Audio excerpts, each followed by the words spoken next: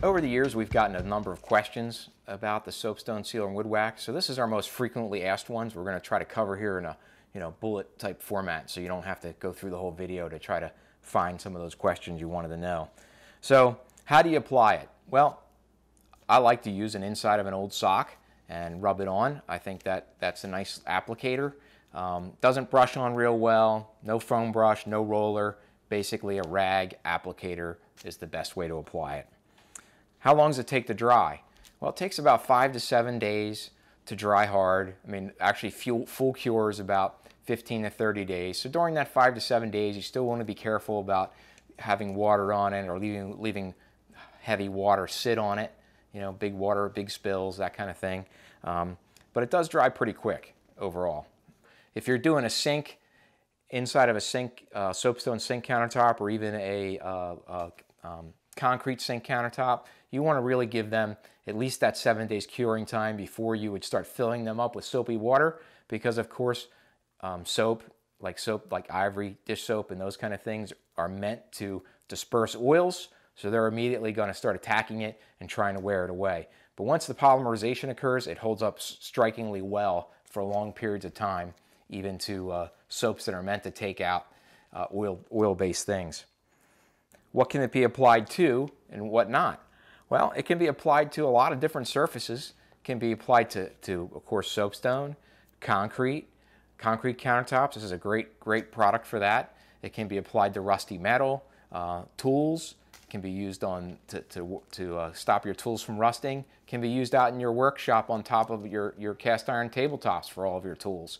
Um, can be used, we're going to do a video on how to, how to seal your wood stove. So your cast iron wood stove, it's a great preventative thing for after you're done with it for the season. Oil it up, let it dry, keeps it a nice black look, you know, through the season, and then it, it will burn off a bit, you know, when you when you turn your stove on again. Um, of course, wood. You know, any food safe contact items, countertops, bowls, spoons, all those kind of things, all great for the soapstone sealer and wood wax. Um, it, it is a naturally drying oil and it'll waterproof them. And I'm sure there's more things we could come up with and pretty good list.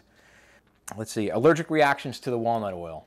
We've not had a, re a reported allergic reaction to it, even though it is walnut oil. It is cooked in order to bring the carnauba wax into solution in the oil. So that helps the oil polymerize and does change the structure a bit. So I can't say that no one would have an allergic reaction to it. I'm saying we never had a reported one in the 10 years that we've, we've done it. Um, how do you apply, how, can you apply it too thick? Yes, you can. You, you, you can't necessarily apply it too thick on the countertop, but you could, if you apply too thick and don't wipe it off, that's where the problems come. If you let it sit overnight or let it sit for a week, then it's going to be a thick film on there. Then you're going to have to resort to like paint stripper or lacquer thinner or ammonia or some kind of solvent or, or paint stripper to, to take it off and then get back down to your original surface again. How often do you reapply? Well, in, in corners where it doesn't get a lot of wear, if your soapstone looks good, don't reapply it. Leave it. Your best application is, is for maintenance is if it doesn't need it, don't bother. So only when the soapstone, when the sealer wears away in places, that's the places you would reapply it. Don't have to go through an annual religious maintenance program where you have to, oh, I got to reapply it, reapply it January 1st every year, you know. No, so I have I have some a sample that I've had oiled for nearly 10 years and it still looks great today. Uh, can I put it over mineral oil? That's the one big no-no. What will happen if it does go over mineral oil? Mineral oil is non-drying oil, so what can happen is it's fighting with the drying oil the walnut oil, and it can have negative reactions, meaning it can get frosty or white or stay sticky. So uh, mineral oil, you really want to flush all that out of the surface the best you can, whether it's with a soap or a, a TSP or strip the surface down. Really got to get rid of that mineral oil before applying the soapstone sealer and wood wax over it.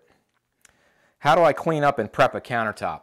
Well, if, if, you, if you do have a countertop that's already been oiled, or I know there's other countertop wax products out there, that kind of thing, it's about stripping it. So you can, like I just mentioned before, you can strip it with ammonia, you can strip it with a paint sealer or paint stripper, you could it, strip it with certain solvents like citrus solvent, which we have would be a natural solvent you could use, and you could strip it with like lacquer thinners or acetone. those kind of things to get back to that, you know, bottom surface that has nothing on there. And also clean up afterwards. What can I use to clean the countertop? Well, I mean, you want to avoid after the, after it's cured and you're using the countertop, soap and water. That's that's your best thing. Try to avoid harsh cleaners. If you get a strong acid on there, like like a really strong vinegar or something, it's possible it could eat it away. The benefit is if it does, you just give it another little coat, clean up that area. So um, any strong cleaners are not the best to use over top of this. So just try to be gentle and use a mild cleaner. All right, how long is it till I buff it off? You want to let it sit 20, 15 minutes minimum, half hour or so, and you can buff it off. A clean, dry cloth and buff it off till it's clean so there's no oil. You don't want a thick amount of product laying on the surface. If you let that sit on there and dry, you're going to have a big mess and you're going to have to strip it off with a paint stripper or a solvent such as citrus solvent to get all that residue off of there. So you want to keep it, it's a very thin coating, wiped off very thin. How long do you, how to store your soapstone sealer after you're done? I like to store it, I'll just store it in this container, put it in the refrigerator, it'll keep for extremely long time. You don't want to put it in extreme heat or extreme cold. I mean, the refrigerator is fine, but there's no reason to freeze it or something like that. That would be too extreme. Um, once you, once you go to use your soapstone sealer again, you might find there's a, a film on top. You basically wring the inside of the jar, peel the film out, throw it away. That's polymerized oil. And the product underneath will be ready to go and, and good for you to use. So how long does this last? I've used containers of this product I've had sitting around for, gosh, three, four, five years. And what'll happen is it might get a little bit crystally It'll have little pot, little crystal polymerizations that start to form as the oil and, and wax tries to cure. I've used it that way. I mean, basically you just wipe off the little spots and it seems fine. Sometimes it'll get a little bit of a, of a smell to it, but I've never heard, never had it uh, not dry and, and be in a rancid kind of situation.